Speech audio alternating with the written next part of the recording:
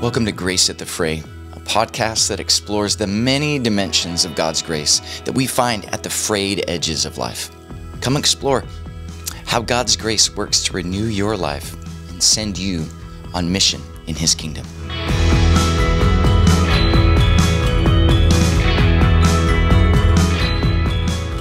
Hello, beloved. Welcome to episode six of Grace at the Fray. And, and happy Easter. He is risen. Christ is risen indeed. I'm really excited about this week's episode because it's a conversation about love. When I say God loves you, you'll probably have some mix of these three responses. The first is meh, like, I don't really care about that, and it certainly doesn't affect my life. The second is more doubtful, like, I don't feel like God loves me. And you could probably point to all sorts of ways in your life where you have evidence for that feeling. And a third response might be theologically confident, like, of course, of course God loves me. The Bible tells me so. But either you're constantly haunted by the meh and the doubt, or your confidence is actually in your theological knowledge about God rather than an intimate experience with God Himself. Well, my guest today is passionate about helping folks not just understand, but actually experience God's love for them. And this isn't just a warm and fuzzy kind of love. It's a love that meets you at the frayed edges of life and propels you outward in God's kingdom so that your life is marked by love. So let me introduce you to my dear friend, Laurel Kehl. She oversees the Mentored Sonship program here at Serge. Okay, time out for a quick promo. Sonship is a one on one mentoring program designed to help you truly live out the power of the gospel in your daily life. I'll have a link in the show notes for how you can get more information about it. And, and you know, I should probably do an entire podcast episode on this because it is such a fundamental part of the DNA of Serge. But for now, I want to invite you to join me and the rest of the renewal team at this year's Sonship Week, coming this October eh, at Park Road Presbyterian Church in Hollywood, Florida. It's right by the beach, just saying. This conference is an extended retreat to bathe your heart in the Father's love. It will include transformative teaching, deep worship, honest small group discussions, and personal mentoring, all based on the Sonship curriculum. Join me. It's gonna be it's gonna be fantastic. Go to serge.org slash sonship week for more information. Okay, all right, time in. I know Laurel would approve of that message. Before joining Serge in, in the renewal department, Laurel served as a missionary with Cru for 38 years. 15 of those were overseas in communist Poland and then 14 in Moscow. She first met Serge staff at a sonship conference in Moscow, which impacted her life at one of her lowest points in ministry. From there, she used her furloughs to study at Philadelphia Biblical University, where she got her master's degree in counseling. Laurel loves developing people especially those serving in difficult parts of the world. She is wise and full of joy. And it was a pleasure, such a pleasure, to hear her talk about God's love. But as we jump in, I, want you to hear a passage from Isaiah 54 that she refers to throughout our conversation. And I want you to find yourself in this passage. So take a deep breath. This is God's word. Sing, O barren one, who did not bear, Burst into song and shout, you who have not been in labor. For the children of the desolate woman will be more than the children of her that is married, says the Lord. Enlarge the sight of your tent, and let the curtains of your habitations be stretched out. Do not hold back. Lengthen your cords and strengthen your stakes, for you will spread out to the right and to the left, and your descendants will possess the nations, and will settle the desolate towns. Do not fear, for you will not be ashamed. Do not be discouraged for you will not suffer disgrace. For you will forget the shame of your youth and the disgrace of your widowhood. You will remember no more. For your Maker is your husband, the Lord of hosts is his name. The Holy One of Israel is your Redeemer, the God of the whole earth, he is called.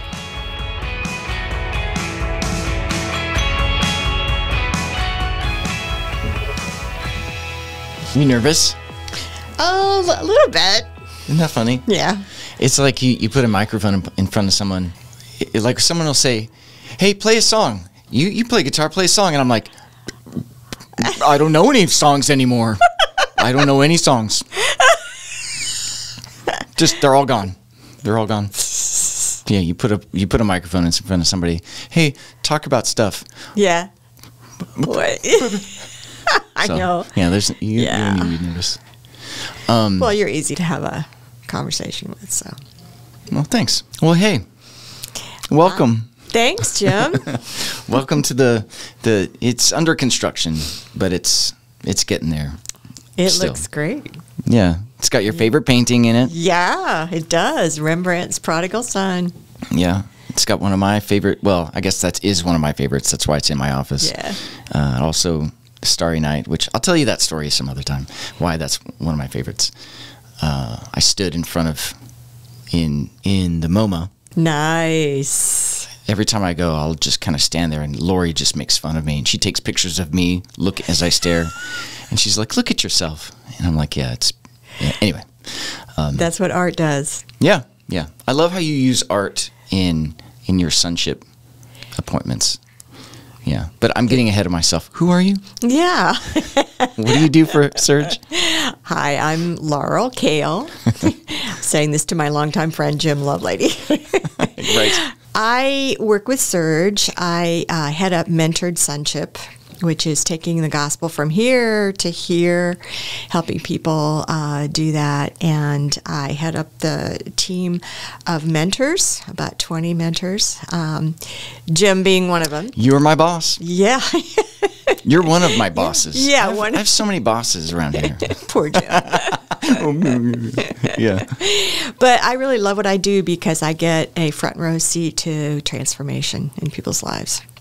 Yeah. The sonship coaching is what changed my life back in 2006. And I mean, it really, it, when I came off the field, it was the sonship curriculum that reoriented my understanding of who I am, who God is, what God is like, you know. And so I look forward to talking about a lot of those things because what you are heading up had a, has had a significant impact. And so now both of us get to do that uh, with soon to be missionaries, potential missionaries, uh, coaching burned out pastors, coaching uh, missionaries.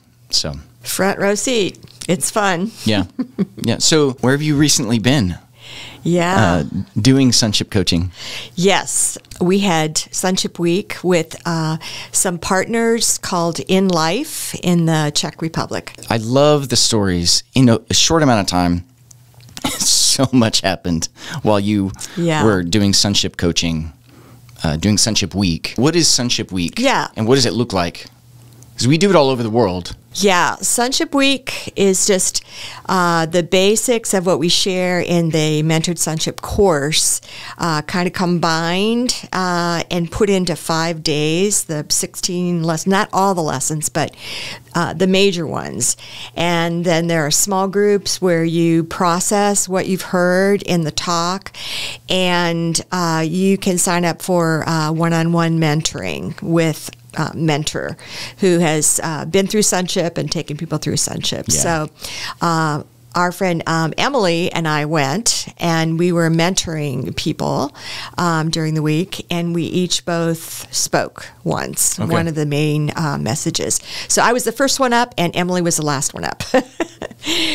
So the first one was on God's confident children, uh, just about the lavish love of the Father for His children and learning to live as beloved sons and daughters. Um, he joys over us with great and loud singing because he's delighted in us uh, much more than we understand. And so, a part of why I love doing sonship is uh, like uh, Tim Tim Keller says if you if you want a soda and you put some money into the uh, soda machine and it, it doesn't come out at the bottom what do you do well you hit the side right. of the soda machine and uh, we all have good theology in our heads like we would never say um, God doesn't love me. You know, we would we we know that he does, but we functionally live Right.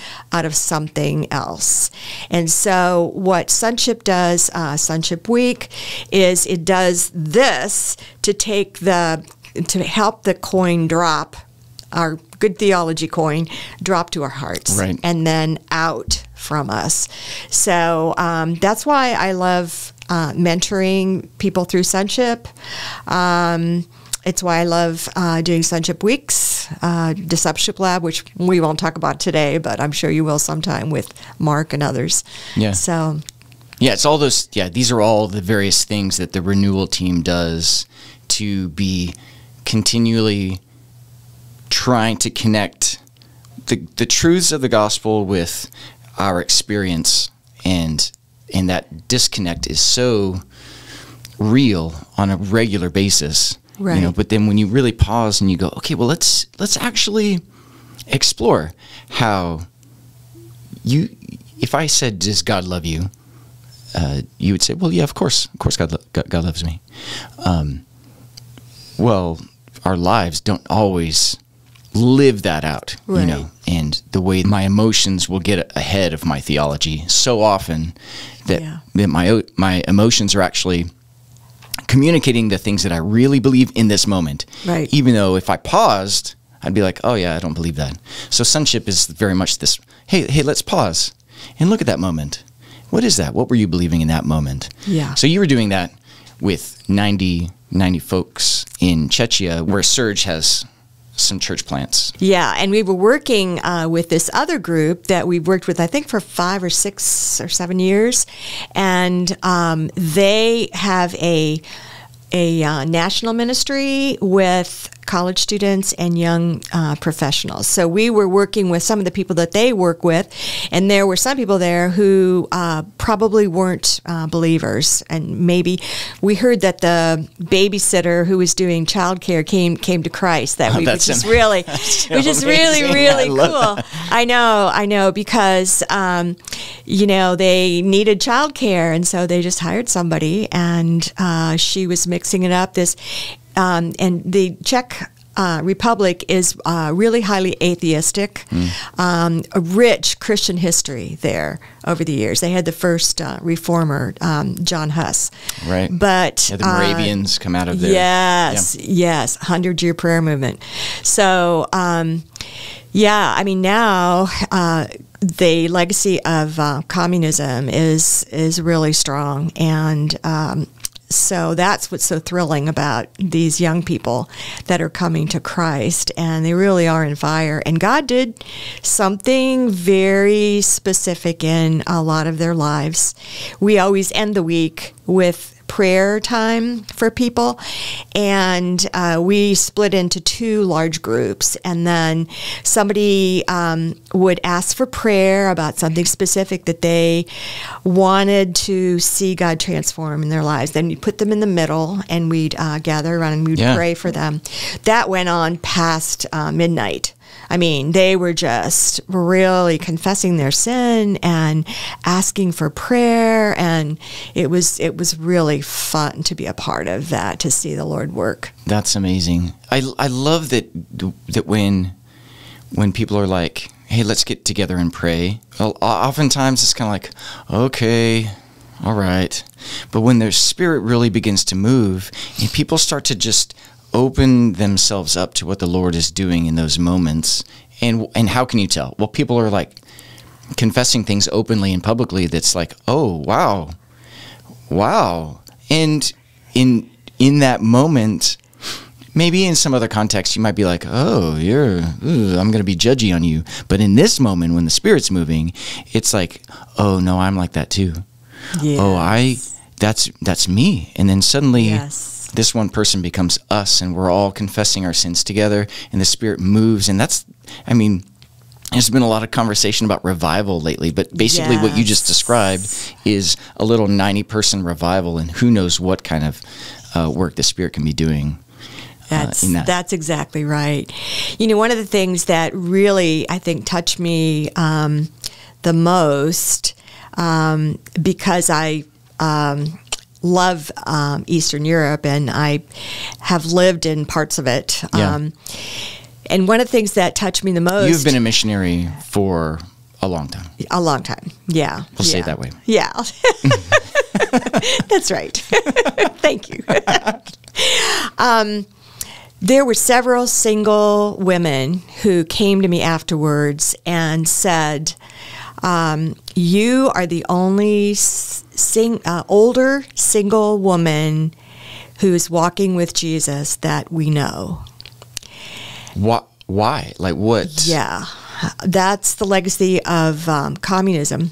I Wow. mean, it's atheistic year upon year, um, where their, you know, the grandmothers in uh, uh, Eastern Europe who walked with Jesus are now all gone. Right. And so it's their children who may or may not have ever come to know Jesus, um, and their children and children's children. You know, so it's been passed down. So, yeah, uh, the the Holy Spirit really needs to stir things up in there which is what was so fun to see but what you know what it was for me personally being single for all these years never married was to hear those young uh, lovely Czech women, you know, say who are really uh, doing a wonderful job discipling people, seeing people come to Christ. You know, um, they're giving their lives to that, and to have them say, "You're the only older single role model we have."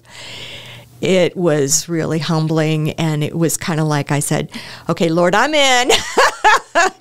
I'm in with all of the pain it's been to be to be single for years and years. You know, uh, this is one of the things that one of the fruits of what you've done. You know, that helps the next generation. So Yeah, that's it's remarkable how that was even a thing. You know, that Yeah. had, that was said. Yeah. You are the only Yeah. single woman who we know.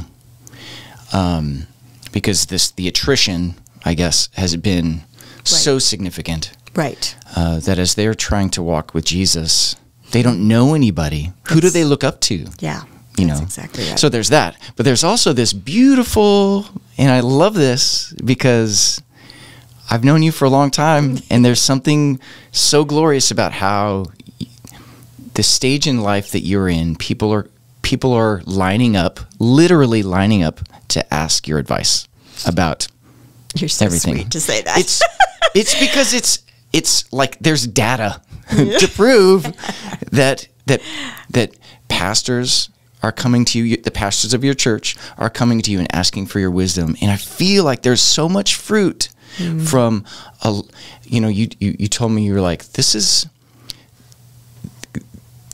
the the, the idea of singleness Yeah. has been a significant source of suffering throughout your life. Yes, and then so for this to be the fruit is just there's such satisfaction uh and but I love it how you how you you'll say in a in a conversation yeah they came and they asked me about what I thought about this and you're you're like shocked you know which is like exact of course of course you are um but yeah, so talk about what that has been like because Yeah, I am getting to see the fruit of a lot of of a of a long life of Yeah. trusting Jesus. So talk Yeah. about that long life of trusting Yeah. Jesus in this way.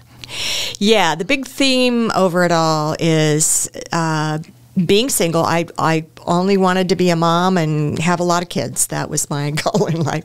And the Lord had different plans. And um, the big theme over all of that is that um, I found Jesus at a probably much deeper level than if I had had my way and had a husband and many kids. And because when you're in suffering for periods of time for a long time, the same same same old same old, you know, Right. Lord, aren't you are you going to bring somebody or not? Um, that's that's a place of suffering and yet in suffering we find Jesus Yeah. because where else can we go? Yeah. So yeah, I kind of smiled when those women said that to me, those young women, because when I was in my twenties, I remember sitting on a hill in Poland, uh, reading Isaiah 54. which talks about the children of the single woman will be, or the unmarried woman will be more than the married woman. And uh, your maker is your husband. And, and it was like the Spirit whispered to my heart, This is you. This is going to be you. Your children will um, inherit nations. And, um, you know, will be more than the married woman. And I'm like, No! Right. Right. I don't want to be single all my life. No, please. No, thank you. Anything else? Which is crazy that Isaiah 54 comes right after Isaiah 53. that's And oh, that's that's a great point, Jim. and the suffering servant, Absolutely. you know, so like if you're reading through the you're like, wow, Jesus is Jesus entered into suffering in this profound way. Yes. Yes. Oh, good for him. I'm glad for him. I'm glad I'm glad that I get to enjoy that. yes. Keep reading, Laurel. Go to Psalm 54 and you're like, "No, thanks. No, I don't want it that I don't want this to be my suffering. Yeah. I don't want that." Yeah. As I look back on my life, um, I mean, it's it was hard at 29 because I knew up 30's coming. You know, it was hard at 31 because I'm like up. I'm past my 20s. You know, the clock is is is ticking. And then 40, 39, 40, 41 was really hard because I'm like I'm not going to be able to have children. My biological clock is over, you know, almost over. Yeah. So, and then uh, it got a little bit easier, but there have been moments where uh, it's the one that was very surprising was when my closest friend started having grandkids. Threw me for a loop. I was not expecting to struggle at that. But I didn't have any pictures to show of my grandkids to everybody when all my friends were showing their pictures. So, yeah. Um, but I, I really wanted to say to those women um, that came to me and said, you know, you're the only Yeah. older single woman we know walking with Jesus, that, you know, Jesus has a great adventure that he's writing in your story. Um, I don't know what that looks like, and I pray he gives you companions along the way, whether that's a husband or a church who will love you well or close friends. Um, but he, there is life after, you know, singleness. there, it, it's not a second-rate life. It's Right. a great Right. great privilege to be able to um, be totally un, undistracted. And one of my one of my young friends one time she was in high school then she has kids of her own now she's married has kids but she said to me you know Laurel if you were married I wouldn't get so much of you as I do now and I'm like she's right Yeah. she's right Yeah. One of the things I really love about this conversation is that we the church doesn't have a really great theology of singleness. And so whenever I get to sit with someone who has, you know, so going back to your talk was confident in God's love. Yeah. You're so confident in God's love that it's like I can talk about this thing that's very intimate in my life Right. of my struggle with Yeah. being single is is a very it's a very intimate thing. And so that you that you that you would share that. I, I feel honored that you would share that. Um, but I but I think that it's this is just another fruit uh, an Isaiah 54 th- fruit. Because it's like hey there are a lot of people who need to hear this. There are a lot of people who need to be encouraged. Not just these single women in in Czechia who are who are coming to you going you you become this icon for hmm. what it could look like to hmm. follow Jesus. That's what your life is, and they see that, yeah. And and it becomes it becomes this beautiful example, icon, a hmm. demonstration of you get to be an Isaiah fifty three suffering servant, lowercase s, mm-hmm. lowercase s. Mm-hmm. Wow, that's really that's really humbling. You know, I it it hasn't always been um, something where. You know, oh, Laurel's doing great with her singleness. I mean, it's easier now, but there were moments when, like you, um, intimated just now, there was great shame in being single. You know, everybody else, I was, I was, I was an oddity. You know, um, if there was a seating at a you know table with a lot of people. I had to make sure that I wasn't taking one space for a married couple, you know, who could sit there. so Okay, okay, pause.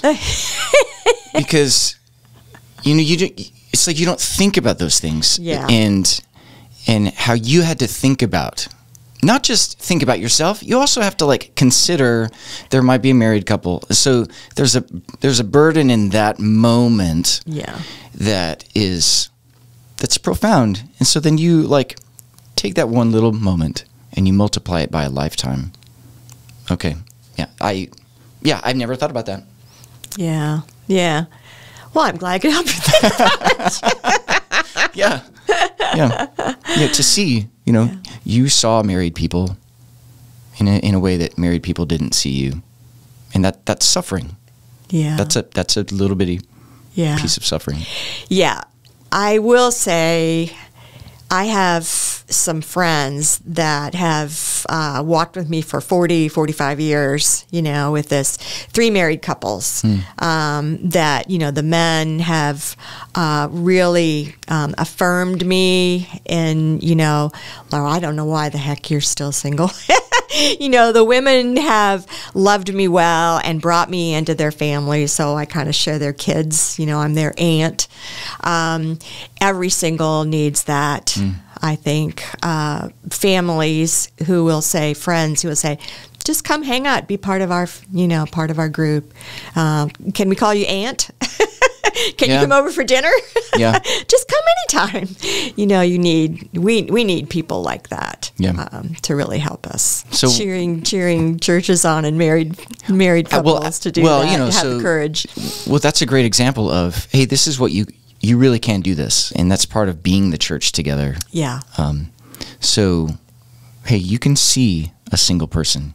Go see them, look for them, and then see them. I think singles crave normal life. You know, so going into what a married couple might think is absolute chaos. Uh, maybe not every single loves that, but I would love that because I would, you know, feel like, well, this is what I always wanted, and I Mm. can just be a part of it, but then I can go home afterwards. Right. so, I mean, it's a special kind of thing, just coming into the mess, you know, just like God does with us in our lives. He comes into our mess. Yeah, yeah. Um, So, tell me some stories of what what experiencing the love of God Yeah. as a Yeah. single person, Yeah. and it's not just like as a single person, as someone who's like wrestled with and struggled with Yeah. the calling that you got, the Isaiah 54 calling, Mm-hmm. you got, okay, well, that doesn't mean that this is going to be a walk in the park. There is hardship. So Yeah. tell me, tell me stories of how you've experienced God's love in the middle of all that. Yeah, that's been um, the the gem in the suffering. You know, is finding um, the Father's delight in me, or believing it more and more deeply. Um, and finding Jesus, the man of sorrows, you know, who was also single, who knew what it was like to be lonely, who knew what it was like to face every uh, temptation a single would face or a married person, both. Um, and you know, there have been there have been some times, you know, especially when I was on the field, um, the mission field, where I was in um, danger, you know, and uh, or you know potential danger, and uh, suddenly I was out of danger. You know, um, one time this is. this is kind of a funny thing, but I was um, outside Moscow um, at a conference, and I had to go back to like leave the conference venue and go back to where we were we were living. We were s- sleeping. Because you were serving there. Yeah, because I was serving there. Yeah. And so I uh, started to walk back, and r- like Russia has these packs of wild dogs. Okay. All right. Keep going. All right. and I was by myself, and this pack of wild dogs found me and surrounded me and started coming in closer and closer. Well, at first I yelled at him in Russian, then I yelled at him in English, and neither of those worked. Neither bilingual nor right. Yeah. So then then i like picked up a stick and tried to you know like threaten them and that made them come closer and had this long fur coat on Oh my with the hide outside. So they were literally nipping at my at my Uh-huh. coat. And i was like oh. And so finally i just threw up my hands and i said jesus help me. And they started backing off Oh my lord! It's, it's Laurel in the lion's den. and they opened up a way and I just walked through and I was shaking, but I, I made it back, you know, home to where I was going to go. Oh, then my God. Told told people later, don't travel by yourself on these roads in this forest because Oh yeah. my goodness! So I mean, there have been times like that. But I could where- totally picture this this petite woman who's yelling at dogs in multiple languages and waving a stick, and then you cry out to Jesus, and it's like silent, Yeah. and Yeah.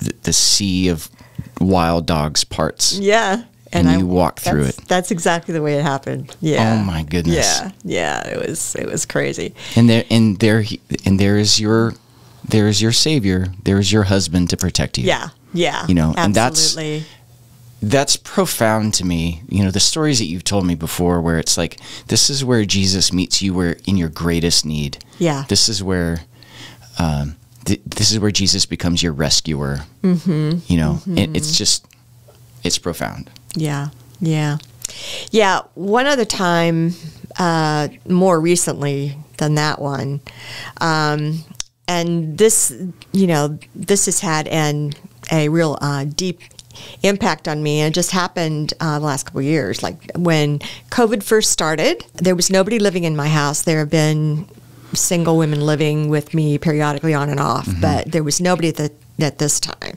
So I was by myself, and my young friend said, You're not um, going out because we're worried about you with the pandemic. So we're going to shop for you. We're going to bring, you know, food by. And so they were, and I was really grateful for that. I could see people, and I was obviously distance. on Zoom. Yeah, from a distance, six feet. There was no, you know, there were no hugs.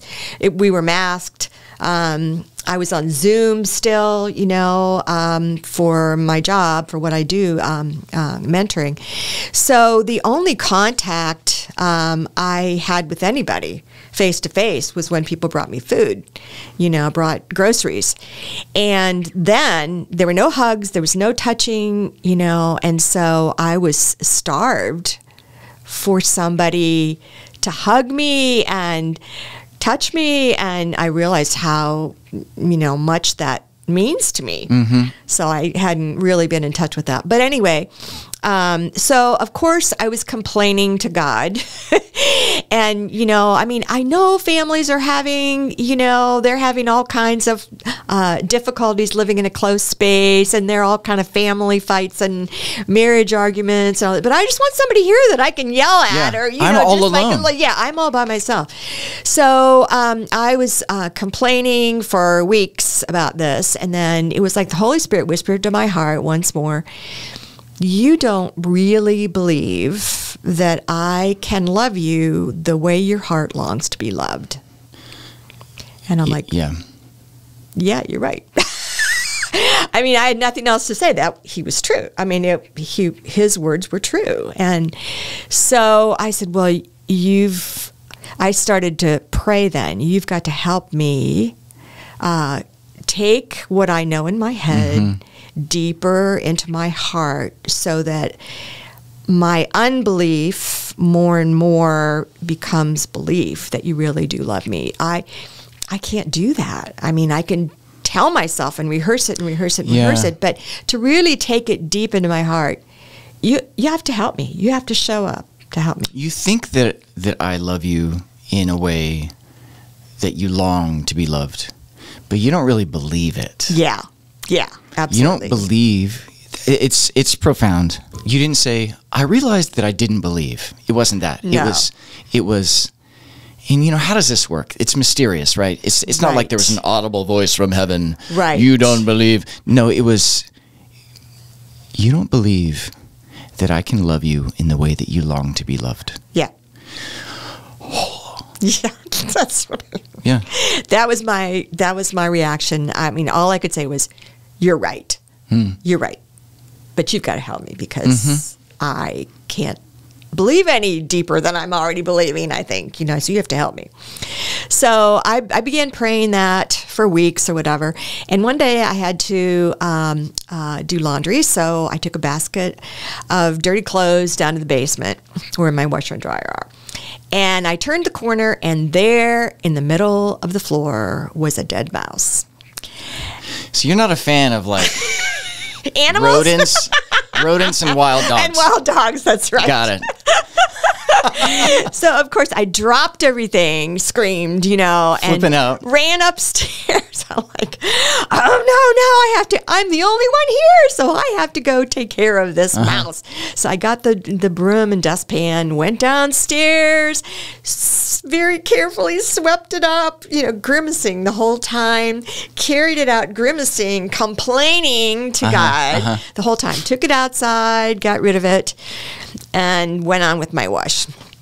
Well, a couple days later, I had to do some more wash. So I went down to the basement, turned the corner, and there was another mouse in the middle of the floor. Of course. And I'm like, no, really, really, God. So I I dropped everything and I'm like, okay, I'm gonna I'm gonna go get the broom. So I did, and I started sweeping it up, and it was still alive. So you flip out. more. So flipped out, dropped everything, ran upstairs, and thought, I'm just going to wait an hour until that thing dies, and then I'm going to go down and take care of it because there's nobody to do this here Right. except me. So um, an hour later, I timed it. I went down to the basement, and I couldn't find the mouse. It was nowhere to be seen. Mm-hmm. Still in the house I somewhere. was like, oh, now I really do have to figure out who to call so that they will help me find this mouse because it's going to start stinking and I've got to find it. So I turned around to go back upstairs, and the maker of heaven and earth had ordered that little mouse into the dustpan where it died in the dustpan. And I started to weep. I'm like, you see me. mm-hmm. You love me, and you are the best husband I could ever, ever have. I'm, I believe more deeply now Yeah. that you love me Yeah. from the two mice, two dead mice. Yeah. these these um it's a beautiful story. But like that's that I love that story because it's where where God goes, I'm going to be the husband. Yeah. I will what what is it in, in Isaiah 54? Uh, your maker is your husband. The maker of heaven and earth is your husband. And and he'll take care of it. He He'll did. take care of it. Is there is there a man around here who could take care of this stupid mouse? And God's like God's like I'm that man. Yeah. Um oh and by the way I love you. Yeah. You know? And I see you. Yeah. Yeah. Yeah. Stupid animals. it's it is kind of funny. so you told that so you told that story in Brno. Yes, yes. That's what I kind of closed that talk with. That you know, God, God sees us. God loves us. Um, he absolutely knows where we're weak, where we're needy, where we're bankrupt. We can't pull ourselves up by our bootstrings. Yeah. You know, so he wants us to be desperate, that desperate that we cry out to him and he loves those prayers. And it is a funny place where the Lord brings out our desperation. It's not like He forces desperation; He just kind of lets it happen, right? Yes. Uh, as you're walking through a forest in Moscow, uh, as you're trying to do laundry in your basement, Yeah. and you discover these different places of desperation. But you titled your talk "Confident." God's confident children. there's a response there inherent in that word confident. There's I am going to be a certain way versus God's beloved children, which is true. You know, we are God's beloved children. Yeah. And there's something like warm and fuzzy and settle into that. Mm, uh, I love being your beloved. Right. Right. I don't want to, I'm kind of making light of it, but I don't want to make light of that very real and Right. true thing. Right. But you titled it God's Confident Children. Yes. So, what is it about God's love that makes you confident? you know, just the fact, I mean, there's a lot that goes into that, but that he sees me um, and he he sees every one of us, which when I start to think about it blows my mind. I can't even understand that, but that's God. That's our God. That's our Father. And um, as He has over the years, you know, shown up time and time and time um, again to be there in a way for me that nobody else has been able to. That builds my faith so that I am not worrying so much about am I going to have money to pay the bills? You know, will um, this relationship work out or not? You know, all of those things. I'm able to more and more um, say, my father is going to take care of it. I don't know what it's going to look like. I may or may not like it. Right. but he's going to take care of it in such a way that if I saw what he saw, um, I would want the same thing. Right. Yeah. My father is good. He sees me. He's loving. He is very personal, very intimate, to use your word. Um, and there are some things actually that they're um, so intimate between my father and me, Jesus and me, that I can't find words Yeah. to talk about. Yeah. But it's that intimacy that I long for, and he shows up and shows me over and over and over in different ways. I'm the best husband you could ever have. Hmm. And then the fruit of that is when not just stories of when you ha- when you found yourself dependent, but an opportunity to go be bold shows itself. You know, I, there's this whole kind of prayer that that turns into of Jesus, I don't want to do this, or Yeah. Jesus, I feel like I I don't want to do this by myself. You know, I'm thinking in particular. You called me a couple weeks ago, and you're like, "Hey, you want to go do this conference with me in uh, Maryland? Was it? Yeah. Was it Maryland? Yeah. Oh, I'm already going to be in Maryland for for a conference. Yeah. Sorry. You Yeah. know, oh, maybe so and so could do it. Maybe you know, just and it ended up just being you. Yeah. You know, and and it was like that's exactly what they needed for that conference uh, was for you to go in and do your thing. Yeah, I think And- so. Yeah. Yeah. And yeah. it's like, you know, we don't feel bold. We Yeah. don't feel confident, but it's everyone around us that's just like amazed and Yeah. blessed Yeah. and humbled and convicted by yeah. by your confidence to to follow Yeah. Jesus wherever Yeah. he says, "Hey, you, hey, I want you to go to Maryland." All right, I'll I'll, I'll take some friends. No, no, no, just you. well, and some friends. No, just you. and not friends. No, just you and me. Yeah. Yeah.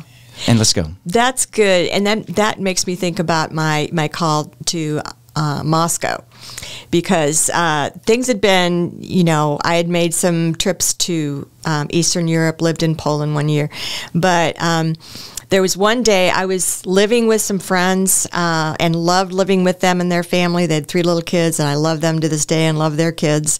Um, but I was uh, sewing new bathroom curtains, and my phone rang, and it was my um, uh, Cru supervisor, uh, Camp Campus Crusade Cru, um, and I knew what she was going to say. And she said, "Laurel, we are putting a team in uh, Moscow, Russia, because you know the wall is just falling, the Soviet Union is, um, you know, disintegrating, and so we're going to put a team in uh, Moscow, and we want you to help lead it." And I was so scared. I said, I'm not going anywhere because I'm sewing new bathroom curtains. I'm I'm not going anywhere. I am staying and hung up the phone. You hung up on her? Great missionary call. That's hilarious. So, so anyway, I called back and I said, "I'm sorry. I just I don't want to go by myself. I don't really know the team, and you know, I really don't want to go." And that it's that's what he's done over and over and over. He hmm. said, "No, you're going to go by yourself. I'm going with you. I will never leave you or forsake you. Mm-hmm. I'm going with you. Be of good courage." Yeah. The way that the promises of God come in. I will never leave you or forsake you. And it's like your head knows that. All the while, you're not it's not like you're going, I believe that wholeheartedly. Yeah. It's no, I'm gonna obey this calling yeah. while I am telling you, you're never leaving me or forsaking me, right? You're not going to leave or forsake me, right? You're not going Right. just this mantra, this Right. continual prayer to to the Lord where I say, uh, I believe, help me in my unbelief. You know, that's basically what it is, right? Yeah. You know, and then you find yourself in yeah. Moscow. Yeah, I find. sure, I'll go for um, 18 months. 14 years later, I come Uh-huh. home. but, you know, in that, as I was packing up and getting ready to go, because I had finally said yes, I would go, I went because I knew that God wanted me to go. He had promised to be with me.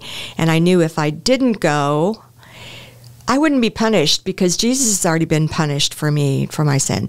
But I wouldn't have the sweetness of that intimacy with him. There would be something between us.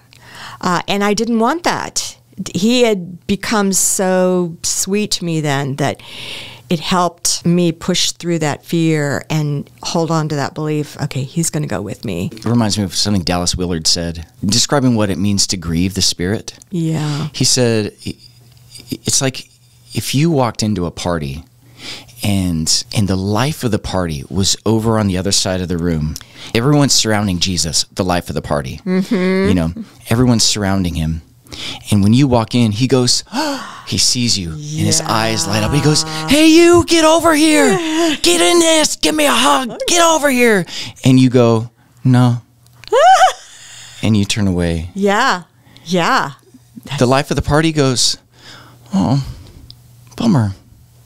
Hmm. That's grieving the spirit. That's You know, that's you're missing really out. good- yeah, missing out. You're missing out, mm-hmm. and you you had tasted enough where you were like, I don't want to miss out on this party. Yeah, I don't. that's I don't really- really foresee a party being in in Moscow, but if that's where the party's at, okay, let's go. I'm in. You're in. Fourteen years later. yeah, yeah, yeah. That's that's a really good picture, Jim. Yeah, it's Yeah. Dallas Willard, man. Yeah, That was, beautiful. good. Yeah, because that's really what it's been. Becoming more and more convinced that um, you know the party's with Jesus, Yeah. and I don't want to miss it. Yeah. So there was one other beautiful thing that happened while you were in Brno. We don't Yes. talk about Brno, but we're talking about it. There's one other beautiful thing that happened. All of these little stories that you tell are just so pleasing to me because I get to see the fruit. Hmm. I, I'm like I, I get to bear witness to the fruit of a life lived hmm. following Jesus into the party. So tell me about tell, tell us about that one. Yeah, yeah. So this group um, in life that we uh, have, that Serge um, has been partnering with, the founders of it uh, were there the first day.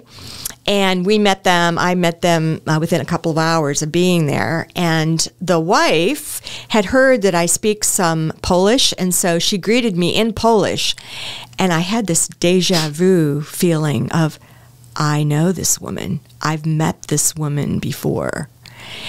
And I just kind of tagged it because I I couldn't really put the pieces together. You've been all over. yeah. But later uh, later when we were talking, um, I spent 1986, 87 in Poland for one year that was under um, communism. And so I was there um, teaching English at um, Jag- Jagiellonian University. That was my cover. You do But I that not because you weren't a good English teacher. Yeah, but because that was my cover. Right, right. Yeah, um, but I was really um, training Polish Cru staff women and really helping them get grounded in um, ministry. So, you know, we were doing this um, secretly behind the secret police's back Mm-hmm. and all that. Um, and there were some Czechs who had come to Christ and they would sneak over the border to come to our training times. And this woman was one of the ones who sneaked So- over the border. so amazing. So amazing. So when we started saying, "Well, do you know, do you know so and so and so and so?" She would like, "Oh yeah, we were there at the same time." And they were. She was one of the ones who kind of, you know, sneaked over. And then she went back. She and her um, husband founded in life, which was really birthed out of our Cru That's amazing. work in Poland. That's amazing. So for the Lord to give me that little picture, I was like, "Oh my gosh." Exactly. I would have never known that. But years later, you know, this is how you bring everything together Yeah. in such a beautiful mosaic. Yeah. Um, Right. Yeah. The the kind of party that the life of the party is making yeah. is beyond our comprehension. Yes. And if if we decide I don't want to uh, I don't want to spurn the spirit. I don't want to I want to follow the spirit. When the, when Jesus calls me into the party, he's calling me into something of like, "Hey, hey, hold this while I do this." Right? Yeah. Just like watch. I'm, I, it does some sort of magic trick, Yeah, all right? yeah. Hey, Laurel, uh, pick a card. You know, I don't know, just some Yeah. sort of like, what are you doing? You know, what are you doing? yeah, yeah. Um, and then every once in a while, he gives you a glimpse of what he's been up to, and like, hey, keep going, keep going. Yeah. Uh, you saw this, you saw me do this. You'll see all the things, the mosaic, the tapestry that I'm weaving, Mm-hmm. the the beautiful things that I am making as I'm making all things new. Mm-hmm. And you get to be with me. You get to participate with me as I'm making all things new. Yes, that's so cool. Yeah. So cool. It's amazing. Yeah. Well, when someone says, I don't know I don't know if the if God loves me. What do you say to them? I'll usually ask another question, something like, um, "Well, if God were looking at you right now, what would the um, expression on His face be?" Um, they might say different things, um, but I, I would I would use that to kind of jump off um, and say, you know, He does love you, and I understand what it's like to have a disconnect there from our good theology to our heart, and you need to stop start um, talking with him about that. Yeah. You need to start asking him to really show you what it is that's under that um, expression, whatever it is. You know, what's what are the currents, the deep currents in your heart? Uh, where are you looking for um, love in all the wrong places? You know, where are you where are you running? Where's your heart running uh, when the only place to be deeply satisfied uh, with our longings, the way we long to be satisfied, is in Jesus. Yeah. Yeah. Psalm 124, I think, is what it was. Let the morning bring me word of your steadfast love. Show me that you love me. You know, and so often when he when he begins to show us his love, he shows us what we've been loving instead. Right. You know. Yeah. And when we go, oh, I, I do love that. Hmm. Because he pierces into our hearts. We could so easily fall into cynicism or whatever, you know, Mm-hmm. Yeah. whatever kind of like yeah. argument with with the Lord that we might have. But to really sit with that question, do you love me? Well, Yeah. you know I love you. Below all the stuff that doesn't love you, Mm-hmm. deep, deeper, in the deepest recesses of my heart, you know Mm-hmm. where the Spirit is kindled a fire. You know that I love you, yeah. and and then He just begins to w- work this. Okay, I'll show you. Um, you haven't been loving me in this area, in this area. Oh, yeah, you're right. but I love you. I still love you. Yeah. You really love me, even even when I've been making a mess of my life in all these ways. Yeah. Yeah. Huh. I think I do love you. You know, so I, I you love me? Yeah. I've always loved you. Since how did your pastor put it? Oh, God is eternal. So he will never stop loving you because he never started. Yeah, he always did. He always did. Yeah, yeah. Yep. Yeah. time time is of no consequence for for an eternal God who has always loved you. Yeah. Yeah, I've always loved you. Oh, I think I love you too. Yeah. And so there's this kind of climbing out of this hole that we've dug for ourselves, uh, dry and cracked cistern that holds no water. Right, right. you know, as we go back and find living water. I mean, Yeah. just, yeah, it's just so beautiful. Yeah, it is. It is. And walking with Jesus is a great adventure. Yeah. You never know what he's going to do, where where the party's going to be, like you're Right. saying. You have so many stories. I want to hear more stories, but we're, we're, we're kind of out of time. So I guess I'll just have to hear more stories later. Okay. Thank you so much. Oh, it's been delightful. Yeah. And if I can be that older single woman walking with Jesus to help younger generations, Well, and me. I'm all in. me Yeah. and, and Yeah. pastors all over. It's just really, it's, it's an honor. Oh, thanks, So Jim. thank you.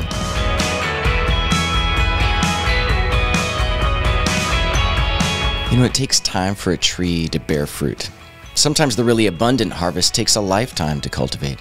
And at harvest time, people come from all over to experience the blessing of that harvest. Well, with Laurel, I feel like I'm witnessing a bountiful harvest of a lifelong love affair with God. Laurel is bearing much fruit, and it's so fun to watch.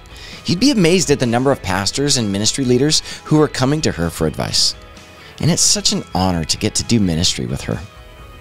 And I hope you were encouraged by her stories of discovering the great love of God in the unlikeliest places.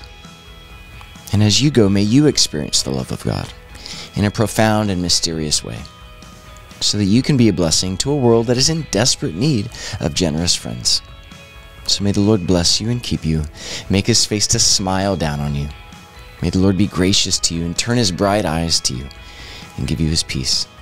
In the name of the Father, the Son, and the Holy Spirit, one God, life everlasting. Amen.